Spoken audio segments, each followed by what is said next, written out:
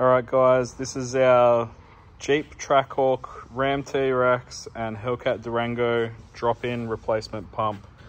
What we've done here is we've made specific clip-on fittings to suit the Ram TRX, Trackhawk, and Durango.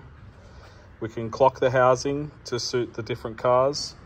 We've made a billet bracket here so that it just mounts up where your current factory pump mounts. You see we've got a a standoff there on that side to make it all match up. All rubber mounted to reduce noise, vibration and harshness. With our inlet ID here and outlet ID there, we've made that actually larger so it will flow more. And then on the inside, we've actually contoured the design so that way it doesn't impede flow at all and actually flares out. All of them come with this pigtail harness.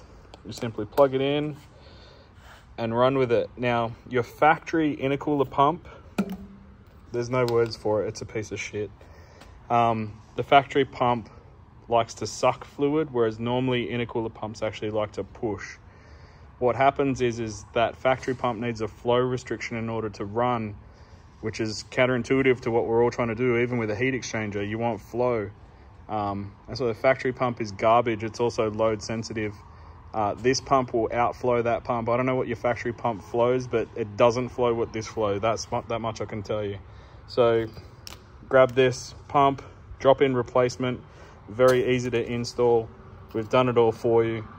Get it on there, get the flow up, get rid of your garbage stock pump.